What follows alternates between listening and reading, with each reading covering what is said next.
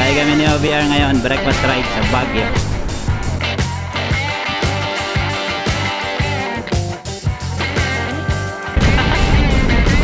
Mga 120 to, Bin. Ano, yun. I love Cuba. Cuba Benguet na pala tayo. Integra Power Max Converge Fabric Baguio Botanical Garden.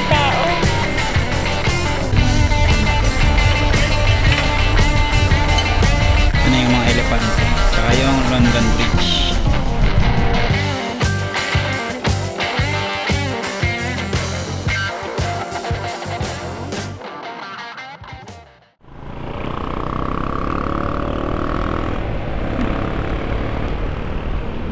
Morning! Gaya kami ni OBR ngayon, breakfast ride sa Baguio. Kanina nakalagay 138 kilometers, pero ngayon naging 166. Nag-iba. Siguro depende sa route na. Supposedly ata daw kami pinapadaan sa may Mabalacat. Pero dadaan na namin ngayon, doon pa rin, tuwing napunta kaming norte, sa may Goshen, sa may Bamban. Labas namin ay makalagpas na ng Bamban Bridge. Ah, Samahan nyo kami ngayon, biyahe kami ni OBR. Breakfast ride, time check 6 a.m. 6.12 a.m. Dito na kami sa may papuntang New Clark City. Pero hindi tayo dyan ngayon dadaan. Baka kasi yung daan pagka pa Baguio ka. Nyo ang Baguio iba. Diretso ka dapat dito. Makalagpas ng SM yun eh. Kakanan ka naman doon. Yan yun yung entrance ng New Clark City. Diyan kami dumaan ng last time. Nagpunta kami ng ano natin? Kapitana. RDC Farm. Ang lugar yan, B, San Jose, no? Welcome to Capas. Yan, Tarlac na kami. Tarlac City. Dito yung part na matraffic. Kaya ba, pag pupunta kayong Pangasinan, pwede kayong hindi dumaan dito, doon nga kayo dadaan sa may San Jose. Labas nyo ay Kamiling. Pasok nyo ay New Clark City. Hindi na kayo dadaan dito. Pagkatanghali lang, traffic na dito, sobrang traffic. Pero pagka umaga, okay lang naman. Hindi, traffic din. Daming papasok. Traffic din ba? Baligo na kami dito. Ito yung pa Baguio, La Union dito. Sa kabila yung pa Pangasinan. Yan, dito tayo. Kanan. Hindi ko na tinitingnan yung maps ko. Alam ko naman to eh. Pero yung pupuntahan kasi namin, hindi ko alam.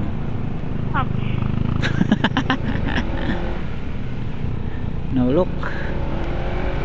Ay, isda ano. Open na. yung isda sa Tarlac yung kinakainan namin ni OBR. Naalala ko nung kumain kami dyan nung New Year yata yun ha. Kinabukasan na New Year. Nag-ride tayo dyan. Isdaan. Hindi makaratrat ngayon. Madami sakyan. Monday kasi ngayon eh. Usually kasi Sunday kami na biyahe. Wala ganang sasakyan. Kaya nakapag top speed dito ng ano, naka full throttle. Ngayon nadami oh. Maluwag dito bi oh. Ito lang yung part na maluwag na.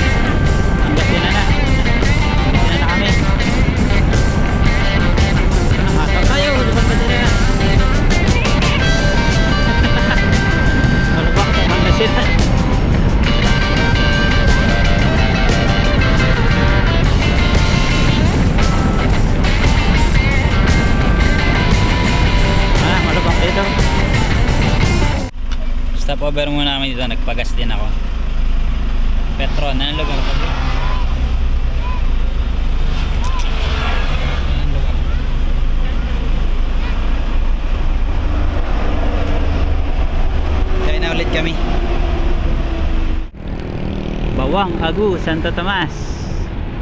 Malapit na kami, ilan na lang, 44 kilometers na lang. Doon na kami sa destination. Yan nga pala, ilan na bang tinakbo na ADB? 9795 almost 98. Nagpalit na ako ng brake pad sa harap. Ah, napanood nyo naman siguro yung vlog na yon. Tsaka ng gulong. Napinalitan ko na rin yung gulong. Para yun talaga dito sa biyahe namin ngayon sa Baguio. Dapat supposedly 10,000 kilometers ako magpapalit eh. Pero ang sabi nga ni OBR, palit na ako. Akit kami ng Baguio ngayon. Yan, sa front brake pads natin, okay na. Tapos yung brake fluid level dito sa reservoir, tumaas na ulit siya. Para talaga yung maging guide mo eh. Kung palitin na yung pads mo. Pag bumaba na sa, sa lower level. Ano okay na ulit, bumalik na sa dati. Kagaya nung bagong labas ito sa kasa, ganyan level niyan. Ang palit ng brake fluid is every 2 years. Magpa-flash ka.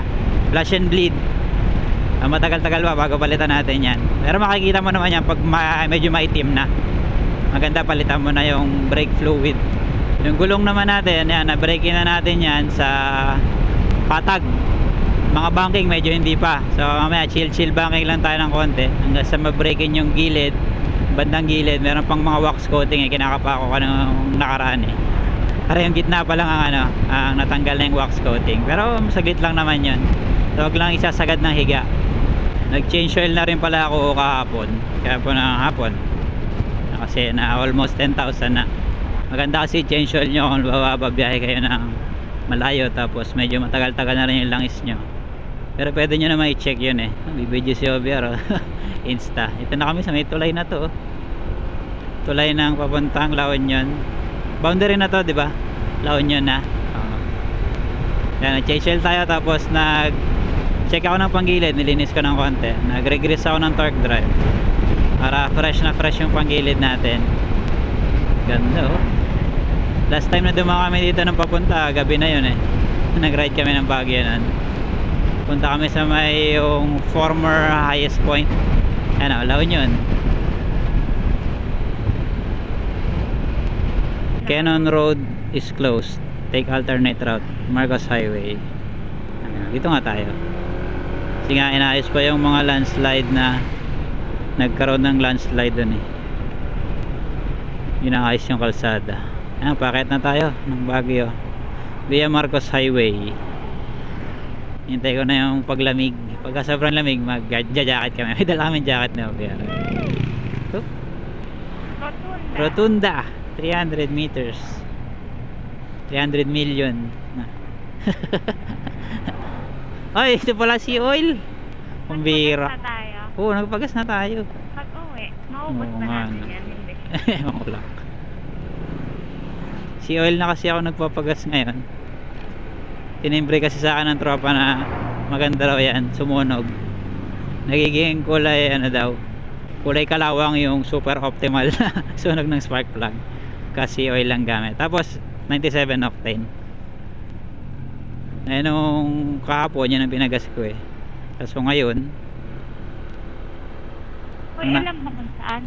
Hindi pa doon.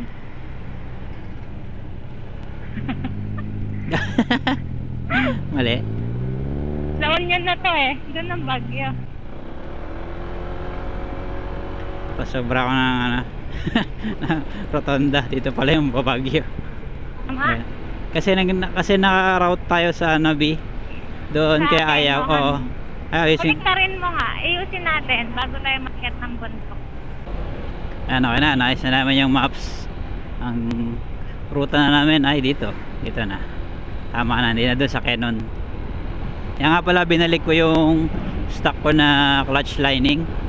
Gusto ko siyang i-break in dito sa speed tuner thread type bell natin. Okay naman siya. May konting dragging nung una, pero ngayon parang wala na din na. Sa traffic na. Ang una lang, kapon ko pa yun binalik eh. Kapon lumabas din kami. Parang isang araw. Yata, oo. Binalik ko yun eh. Stock na clutch lining. Binalik ko rin syempre yung stock na clutch springs. Pero okay naman yung gecko. Gusto ko lang talagang itry ito. Ito na mga stock lining. Para pag nireview ko na yung gecko, ma-review ko na rin sa kung stock ang gagamitin. tapos ang kapartner ay yung speed tuner na thread type belt. Last time na dumaan kami dito pala sa Marcos Highway ay ang tagal na no? Oo dala namin si Bit nun.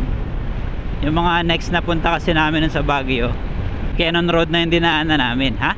Nag-click tayo sa Baguio. parang di natin nagamit si Click sa Baguio. Si Bit lang di pa namin dadala si Click dito? Mga pandemic na. Oo, pandemic kasi noon nung gamit ko sigli kayo pandemic kaya hindi kami nakagala masyado. Kaya konti lang napuntahan nun. Ah, pero ngayon si ADB dala natin. Second time ni ADB na pupuntang Baguio. Ngayon dito naman siya dadaan. Daming lubok dito. Ah, sundan lang natin tong ating Google Maps. Dire-diretso lang naman yan. Parang yung lakad namin ano na eh. Ano na lunch ride na oras na 9.30 siguro early lunch ride hindi na breakfast ride eh no? layo kasi eh Di ba tayo nagbo-breakfast? No. Okay lang. Oo. Almost 200 km, 178 eh. Hindi pa kami kumain kanina nung umalis. Gising kami ng 5, tapos prepare lang ng konti. Biyahe kami ng 6. Chill banking lang tayo. Ayan na, medyo tumutwistis na. Ayan na, sa maps. Para matanggal na yung wax coating nitong bagong gulong natin sa likod. Uy, lamig na. Naramdaman mo na? Baba pa natin, di. Wala pa tayo. Naramdaman ko na yung lamig eh. Hindi nakagaya sa patag kanina eh. Nag-adjust din pala ako sa bola ngayon. Ang gamit ko ngayon ay combination ng 15 grams at 17 grams. Bali, ang total weight niya is 16 grams. Tapos ang placement niya, yung magaan, kapag nakarap sa yung pulley ay nasa kaliwa. Tapos mabigat nasa kanan. So 15, 17 ang bola kong gamit ngayon. Nung mga nakaraan kasi medyo natataasan na ako sa RPM ni ADV pagka sa acceleration. Nakatinry ko naman ngayon tong 15-17. Binigatan ko ng konti para mas suabe sa pakiramdam. Yan, personal preference lang yan. Ah. adjust-adjust na ang CBT. Bali ang set natin ngayon, yun pa rin, ECU Tech Pulley Set. GY6 na 1200 RPM center spring. 1mm na washer. Tinanggal ko na rin pala muna. Mamaya explain ko kung bakit. Tapos yung bola natin, 15-17 combination.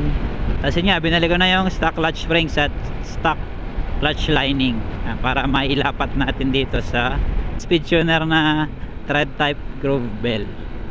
Yan ang panggilid natin ngayon. At syempre, easy remap. Medyo maraming lubak dito sa Marcos Highway. Lalo dun sa kanya sa Bukana. Ay, ingat na lang kayo pag dito kayo dadaan. Gusto ko talaga yung RPM ngayon itong medyo mas mabigat na bola 16 grams. Actually pwede pa ako mag ano 15.5 so wala na akong ano eh wala akong stage 16 kaya ito lang 16 lang nailagay kong bola. Pero mas suwabe siya para sa akin. Wow. Oh, mainit na ulit dito. Mamaya na ulit lalamig pag nasa taas na kami. So, kaya ko pala tinanggal yung washer na 1mm gawa nung belt na pansin ko parang medyo nagpe-premature na kayas eh. Premature wear out sa bandang side. Parang may part na kanapingas ng konti. Pero okay pa naman. Wala pa naman crack yung gilid. Yung mga ano pa lang yung mga loob pa lang ng ngipin ang merong cracks. Okay lang yan. Basta wag lang aabot sa gilid. Pero actually malambot na siya yung belt. Siguro palitan ko na rin kapag uh, 10,000 kilometers. Ah. tapos gawin ko na na siyang reserva. Meron na akong belt eh. Dala ko nga ngayon. Kasi kapag naglo-long ride kami may dala akong mga spare parts para kung sakali na kaberya maputulan ng belt ganun. Pangkalas ng CBT meron din akong dala. May pakita ko sa inyo. Mga dala kong tools. Yung palang cycle seal natin. Inilagay ko na rin kay ADB kasi para hindi na sa gamit. Inilagay ko na yung isang pouch doon sa likod na gulong kaya okay na yan naka cycle seal na. So kung magka puncture man masisil agad siya. Hindi namin kailangan maglagay pa ng sealant kasi meron na eh. Nilagay ko na. Feeling ko dahil yun sa belt alignment kaya nagkaganon. Nagkaroon ng premature na wear sa gilid. Kasi medyo tumabingi eh pag nilagyan mo ng washer. Stuck kasi yung placement nun yung kapal. Yung EasyTech na pulley. Depende rin kasi yan sa pulley meron mga pulley na medyo tabas ng konti so hindi na yung original na alignment yung masusunod. Pwede kang mag washer yung gawa ni MJ yung ECU Tech stock na stock pa rin. Walang tabas yung dulo ng pulley tsaka drive face so same yung alignment. Ngayon tinanggal ko na yung washer. Tingnan ko kung magpapantay na yung kain niya. Pansin ko kasi sa may kaliwang side medyo parang mayroong kakaibang kain. Na ano? Na tinanggal ko muna yung washer hindi nga lang tayo nakasagad ng low gear ngayon pero okay lang malakas pa rin naman ang atak eh tapos medyo na-lessen yung pagpag pero wala namang problema yung pagpag wala lang yung sobra ang goal nga dyan is mapalapat mo yung bushing kaso sa case natin ah ang daming lubak Sabi ko sa'yo, maya-maya ka naman. Ayan, napansin ko yung pag-offset natin is medyo apektado yung belt alignment. Yung belt na apektuhan yung belt, parang nagkakaroon siya ng kakaibang wear. Doon, kaya tinanggal ko muna. Nanaraw ako mag-vlog pagka daw ano na, walang lubak. Maraming lubak eh. Ngayon ulit kami nakadaan dito eh. Uy, may bus. Alternate route daw doon ibang daan. Pero Baguio din ng punta. Kaya dito tayo. Ito yung traditional way. Ay, Mga puro labak dito. Kaya may alternate. Kaya alternate. hmm? Puro labak dito. Hindi ko alam. Baka. Hira na. Yan na, kahit na. Medyo patag pa doon kanina eh. Pagbaba namin. Ito na, dito na mag-uumpisa yung tunay na lamig ng Baguio. Ay, ah! Tayo pa ba? Ayan na, twisties na yung maps eh. Malayo. Ayan, matalbog no. Talbog dito, mapakangit na yung kalsada. Hindi pa nare-repair ng talbog. Welcome to Baguio. Baguio na pala TV. Laki na. Ayan, nakalagay, welcome to Baguio. Saan ba yung ano ng Baguio? Arko. Arco, no? Parang wala pa tayo nakita na. Laon yun lang nakita natin. Horseback riding tayo ngayon. Oo nga, mahalog nga pala dito. Ayan o, talbog. Saka na kami babalik pag gagawa na yung ano, Canon. sa Canon. No? Mas maganda kasi talaga daan doon. Mas matarik nga lang. Ito, gradual lang ang ahon. Pero mahahaba yung ahon dito. May mga part dito na mahaba yung ahon. Tapos yan, malug, medyo malubak ng konti. Okay naman sa ahon yung 16 grams, 15, 17. Malakas pa rin, Bina. Hindi pa rin natatalo ng ahon yung RPM niya. Malakas pa rin yung RPM. Naka-overtake pa tayo pa? Tupak ka. Malabak nga lang. Lakas ata niya. Kasi 70 pa ahon.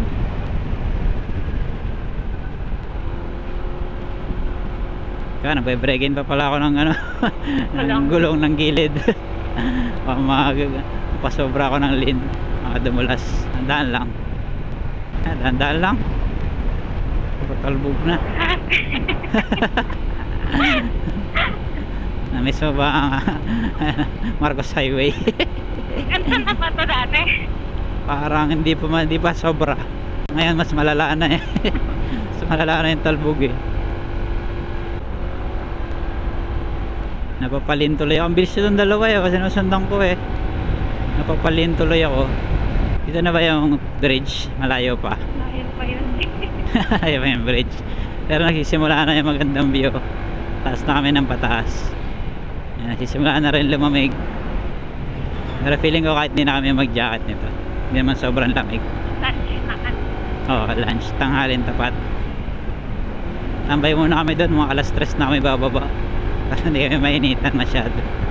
Pagdating namin ng kapat kapatagan. Ah, patarik na ng patarik yung ahon, no? Basic na basic lang, oh. Belo-belo nyo lang pagka paon.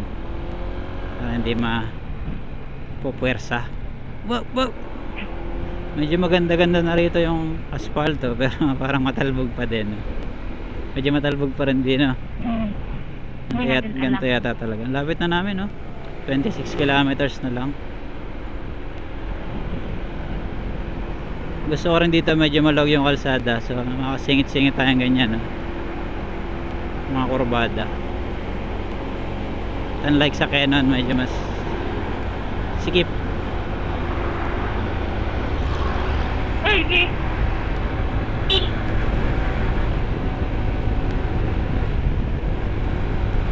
Ahon.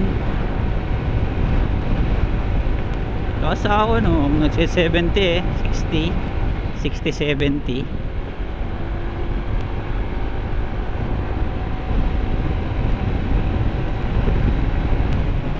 Sana maganda na kalsada dito. Ano, parang gumanda na, Bi. Oo. Sarap sa Baguio. Lamig na. Yung mga konting sasakyan, mga truck na mababagal, pero nga, makakasingit ka naman kasi maluwag kalsada rito eh.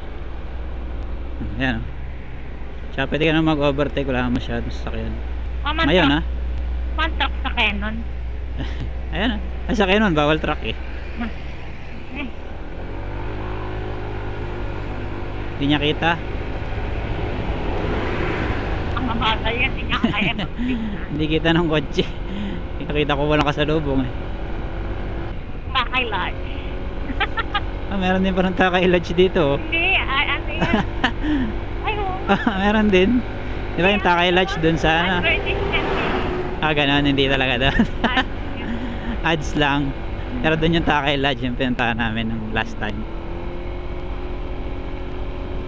Banking. Oh, sarap. Banking ulit. May video ka na. Ano? Wala naman view eh. Ayan lang.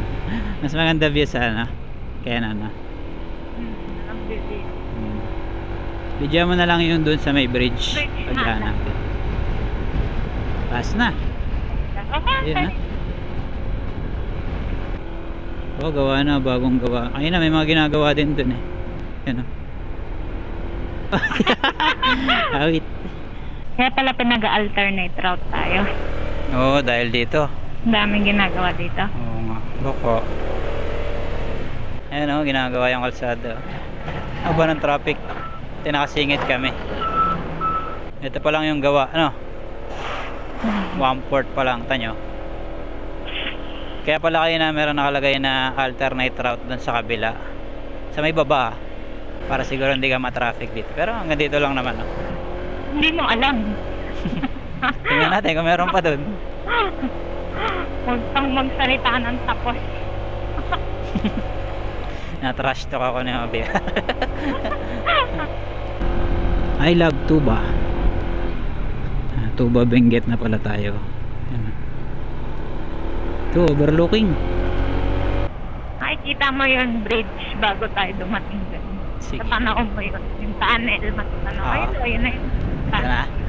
Ay, Ay, umbrella. ano yun? Kala ko ipon. Ano yung tunnel? Kita mo na? Dito. Hindi ko sure. Yun? Ha? Ano yata? Yung bridge. Saan? Ayan na, yung bridge. Magbukas ka na ng camera. Naka-on na to. Camera natin. Ay, ang ganda.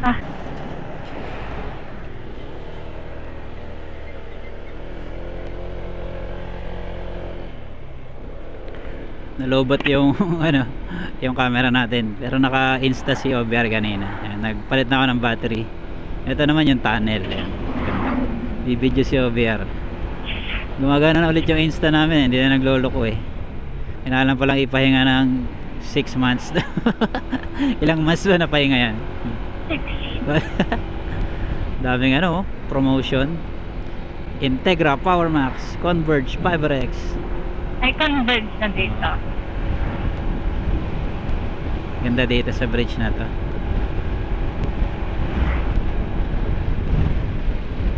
Ang daming promotion at billboard. Oh, ayos. Lamig na. Pero hindi na kailangan mag-jacket.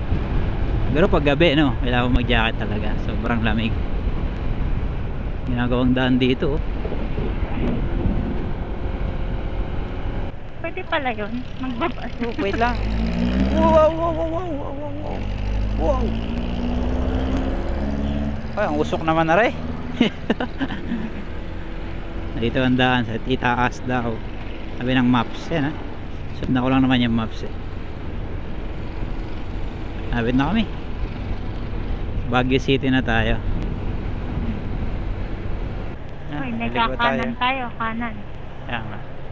Ay, ang galing oh. Nakita niya yung no entry B. Mm, U-turn. Yan oh, one way. Kita niya dito sa maps oh. Ang galing. Galing ng maps oh. U-turn. Oh. Naka, Ano, U-turn ka lang ah. naka-data kasi ako. Kaya pinakita niya. Ayun.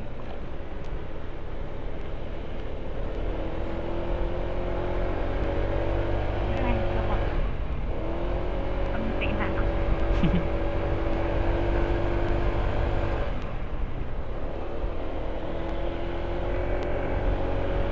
Yung ginagawa siguro doon ano? Ito yung botanical garden sa aming tao. Ah, Botanical Garden to. Mm-mm. Mas diretso tayo. Tapos saan na yung kainan? Yan o, nandyan sa maps mo.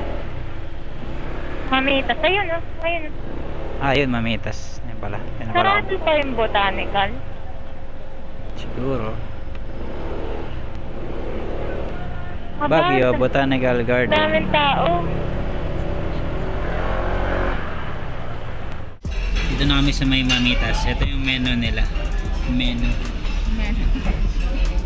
Ito na yung food namin. Bulalo sa akin. Fish and chips daw yan. Kain muna kami.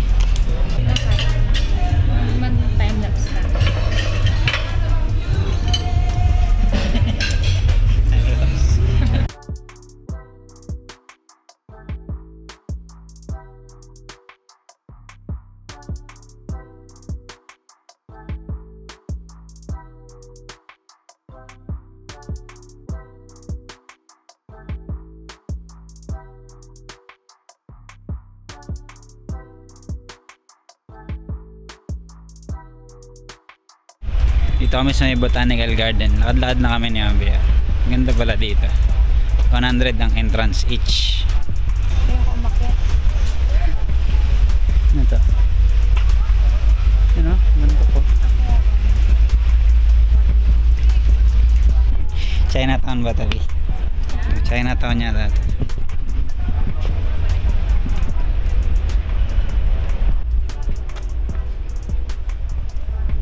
OBR nagbibideo din ng insta niya eh. Anong flowers yan? Hindi ko alam. Purple flower.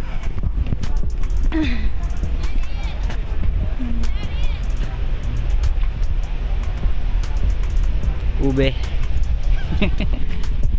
Ube flower. Lalaki ng elepante dito. Tsaka may baby elephant. Ganda pala dito. May entrance nga lang 100 each. Pero kapag ka resident ka dito, 50 pesos lang. Mga bata mas mura na. Ang 20 lang ganun. Ito na yung mga elepante. Tsaka yung London Bridge.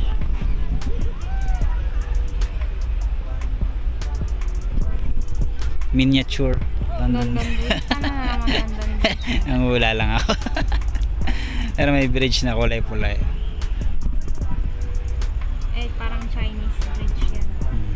Chinese bridge. Oh, kasi parang Chinatown to eh. Yung theme nito. Ayan. Kaya lang kami ni Javier dito. Pagod kami kakalakad. Tapos, diretso na rin kami uwi nito. Yung pauwi na kami ni Javier ng Pampanga. Okay naman doon sa kinainan namin kay Mamitas Restaurant. Sarap ng bulalo. Medyo mahal nga lang pero expected nyo na yan kung bagyo kayo kakain. Medyo mahal talaga kasi ano to eh. um, prime tourist spot sa Pinas. prime tourist spot sa Pilipinas, Baguio. mahal talaga, normal lang 'yon. 350 yung bulalo. Yung sayo, ano yung sayo? Fish lang. Fish and chips lang. Fish and chips, 349 din. Wow. Ah, pero masarap. Mm. Sulit. Sulit yung ano, bayad. Tapos yung sa may baba, yung botanical garden, ganito din. Maganda mag-picture, maganda mag-video. Tapos, syempre ambience, malamig kasi dito sa Baguio. kahit tanghalin tapat alas 12 lalakad kami hindi lang kami pinapawisan. Malamig talaga. Ay nga entrance ay 100 each. Mga lamang ang dating na namin ito sa Pampanga gabi na ano? Para mga 4 hours 5 hours biyahe namin kanina eh. Medyo mabagal din kasi ang biyahe pagka medyo madami sasakyan medyo may mga dadaanan kaming traffic eh kanina. Hindi kagaya pag uh, Sunday kami nalakad. Halos walang sasakyan masyado ano? Ah, Monday kasi ngayon. Ayun na yung bridge oh. ito na yung bridge tapos yun na yung tunnel. Andahan ulit natin. Wow! Yung malaking ano? Yung malaking piece of shit na ito. Alas dos na pala eh oh. Sakto lang alas 6 sa bahay na tayo no Oo. So, wala, hindi namin maiinitan pagbaba namin sa patag. Hindi na tayo abutin ng init masyado. Pag nasa patag na tayo. Alas 3, alas 4. Hindi bagalan natin. Pag wala pang alas 3 ay wala pang alas 4 ay andun na tayo. Ito na. Tunnel.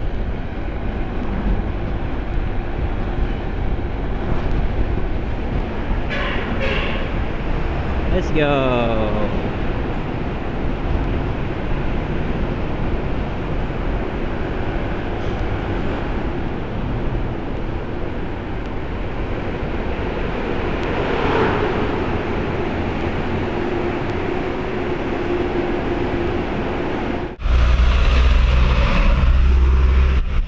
I love tuba.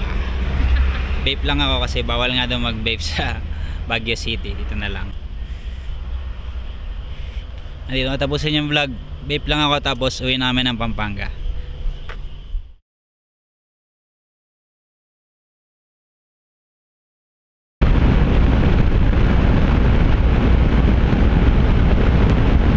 Kaya slipstream tayo sa bus. Nakarangan nyo yung hangin. Maganda yung hangin. slipstream. Hop.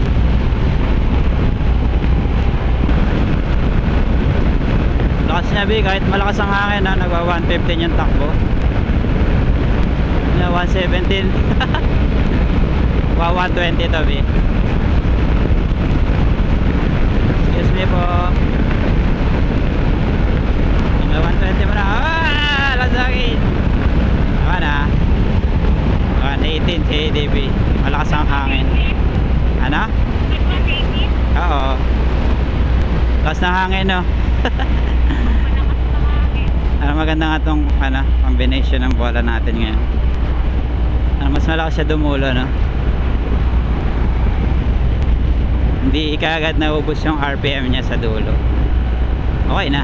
Okay na ako dito sa 17.15 bali 16 grams na bola. Tarlac to. Patag yun eh yung speed natin. Hindi pa baba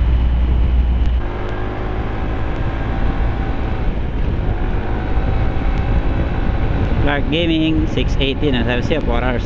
4 hours 5 hours no? Oo. ito na kami sa Clark.